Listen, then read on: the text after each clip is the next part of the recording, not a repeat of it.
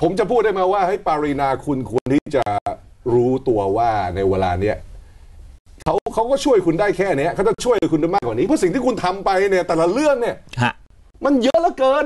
ถ้าสมมติว่าลุกป่าสงวนจริงๆนะต่อให้เคยมีการพูดกันว่าจะช่วยเขาก็ช่วยไม่ได้แล้วแหละคราวนี้แสดงว่ามีการหลผอมกก็ใจมุมนั้น ผมก็ใจมุมนั้นที่เหมือนกับว่าเจ้าหน้าที่รัฐอาจจะตอนแรกมองว่าเอ้ยมีช่องทางที่จะนั่นได้หรือเปล่า แต่ว่าตอนนี้คุณปารินาคุณต้องกลับไปนั่งที่บ้าน แล้วคุณต้องดูตัวเองในกระจกแล้วว่าคุณทำอะไรไปทั้งหมดตั้งแต่และคุณพ่อของคุณ แล้วถ้าเขามีสิทธิ์ดำเนินคดีเขาก็มีสิทธิ์ดำเนินคดี คุณต้องดูแลตัวเองแล้วล่ะ แต่จคุณริงๆเขาไม่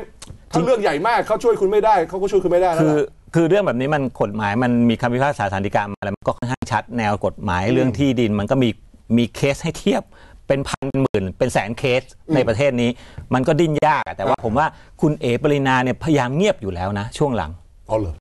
อุ้ยหลังๆแกอ๋อเงียบเรื่องมาก โอเค ไม่ไม่เออไม่ไม่ตอบเรื่องลุกป่ามานานใช่ แล้ว โอเคโอเค แต่ทำไมแกจะต้องออกมาดังอีกเนี่ย ผมว่าแปลกอยู่เหมือนกับเราแกทวงอะไรอยู่อืมอ่าหรือว่าแต่ว่ามีมีคนให้แกถ้าบางชวนให้แกขายของอะให้พยายามเป็นข่าวไว้ ครับ เพื่อเบี่ยงข่าว คุณวีระสมความคิดซึ่งติดตามคดีนี้อยู่เนี่ยนะฮะเขาก็บอกว่าทราบข่าวอย่างไม่เป็นทางการว่าบกปทศ บกบกปทศเนี่ยนะฮะฮะเรื่องทรัพยากรธรรมชาติ คือโทษทีนะคือการเมืองไทยมันเหมือนละครนะนะแล้วมันมีชื่อย่อเยอะฮะ มันมีชื่อย่อเยอะมากบกทปสเนี่ยนะฮะคืออ่ากองกผู้บังคับการการบังคับการการปราบปรามการกระทำความผิดที่เกี่ยวกับทรัพยากรธรรมชาติและสิ่งแวดล้อมคราวนี้ตั้งคณะทำงานสอบสวนคดีของปรินาที่อำเภอจอมบึงอย่างเดียว แต่ไม่ตั้งคณะอ่าทำงานสอบสวนคดีของนายทวีที่อำเภอสวนพึ่งอืม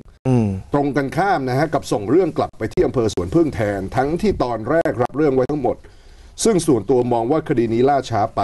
ถ้าเปรียบเทียบกับคดีของประชาชนทั่วไปหากโดนคดีแบบนี้ไม่กี่วันก็ถึงศาลแล้ว แต่ที่เจ้าหน้าที่ยังยึกยักเพราะพยายามหาทางออกว่าปรินาตั้งใจหรือไม่ตั้งใจ แต่เรื่องนี้มันปฏิเสธไม่ได้นะฮะเพราะปรินายืนยันว่าเธอครอบครองมาก่อนสปกแล้ว อ้างว่าครอบครองแบบพบท5แต่ความจริงมันเป็นป่าสงวนซึ่งจะครอบครองแบบพบทไม่ได้ อ๋ออาจารย์จิโรดประเด็นที่ความผิดที่เขาพูดกันเนี่ยก็คือว่า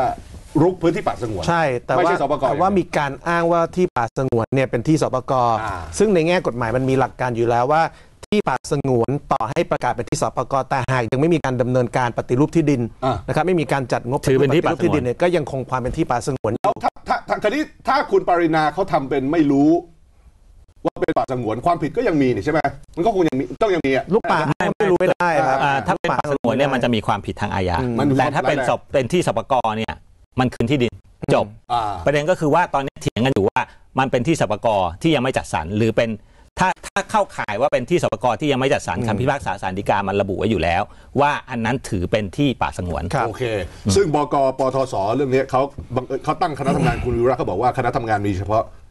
กรณีของคุณปารินาของคุณพ่อของคุณปารินาไม่มี ส่วนกรณีไลน์พักพลังประชารัฐรัฐบุตรเนี่ยอ่าคุณวิระก็บอกว่าอ่าไม่ได้ให้ความสำคัญกับเรื่องนี้ เพราะอาจเป็นการเบี่ยงเบนประเด็นก็ได้ ตนให้ความสำคัญกับประเด็นว่านางสาวปารินาจะติดคุกหรือไม่ เหมือนกับพี่น้องประชาชนทั่วไปที่เคยติดคุกจากครักบรณีเหล่านี้ จริง อันนี้สรุปสาระสำคัญไม่อยู่ที่เรื่องลาย แกไปรอคดีเลยพูดง่ายๆว่าตำรวจทำไม่ใช่ตำรวจสิมันจะไม่ไปถึงตำรวจเลยครับนะครับ ก็คืออาคุณวิระพร้อมพลตำรวจตรีวิวัฒน์เนี่ยนะฮะ อ่าออกมาให้สัมภาษณ์ว่าขณะนี้ตั้งคณะพนักงานสอบสวนเรื่องของนางสาวปรินาไว้ประมาณ 10 คน ส่วนเรื่องความล่าช้าตนไปตามระเบียบเร่งรัดที่สุดเท่าที่ทำได้แล้ว เจ้าหน้าที่ก็บอกนะฮะคดีไหนที่จำเป็นต้องพยานหลักฐาน เพิ่มรัดกลุ่มมากขึ้นก็ต้องหาพยานหลักฐานฮะตอนนี้คดีมันยังสตาร์ทไม่ได้ ตัวที่คดีเป็นที่เป็นคดีอาญาลุกป่าเนี่ยมันยังสตาร์ทไม่ได้เพราะรอกฤษฎีกาครับถ้าเขาจะดองเขาก็ดองกระบวนการนี้แหละที่เราพูดถึงกฤษฎีกานี่คือคณะกรรมการกฤษฎีกาที่เป็นตึกที่ ปรึกษาคณะรัฐมนตรีทางกฎหมายเนี่ยนะอ่าฮะใช่เพราะว่าเขาส่งเรื่องนี้ให้กฤษฎีกาดูว่าตกลงว่าไอ้ที่ป่าสงวนหรือที่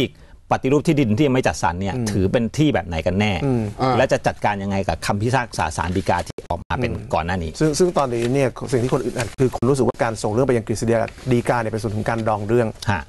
อันนั้นแหละคือประเด็น คราวนี้ก็ต้องไปตามข่าวต่อที่กฤษฎีกาเพราะว่ากระบวนการทั้งหมดเนี่ยมันมันเริ่มนับตอนนี้มันหงติดไม่ได้ขัดอยู่ที่กฤษฎีกาครับซึ่งแต่เดิมเนี่ยเขาบอกกันว่าถ้ากรณีชาวบ้านเนี่ยไม่เห็นต้องส่งไปกฤษฎีกาแบบนี้อืม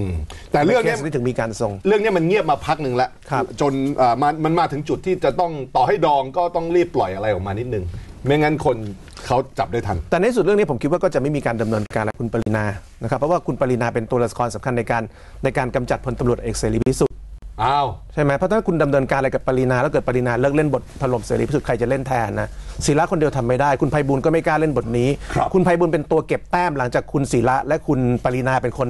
ตามตามมาที่หลังอ่าคุณคุณถ้าถ้าเป็นเกมฟุตบอลเนี่ยเป็นแบบนี้คือ คือปรินาศิระนี่เป็นเหมือนมิดฟิลด์ไอ้นี่เข้าไปในการถล่มพลตำรวจเอกเสรีพิสุทสวีธิ์ปเปอร์ไหมแต่คุณไทยบุญเนี่ยเป็นตัวคอยยิงประตูอ๋อคือเสนอถอดถอนผมคิดว่าตัวกวาดโอเคอ่าเพราะเพราะฉะนั้นเนี่ยมันคุณไพบูลย์คนเดียวเนี่ยชนพลตำรวจเอกเสรีพิสุทธิ์ไม่ได้ครับไม่กล้าพอด้วยครับนะครับแล้วก็เป็นผู้ใหญ่อายุมากทำแบบนั้นมันน่าเกลียดเฮ้ยแสดงว่าคุณเอ๋เนี่ยไม่ไม่ว่าเขาจะยังไงชอบเขาก็จะไม่โดนอะไรคุณจากพลังประชารัฐพลังประชารัฐต้องการเฮ้ยเบี้ยตัวนี้ไว้ถล่มเสรีพิสุทธิ์อ๋อ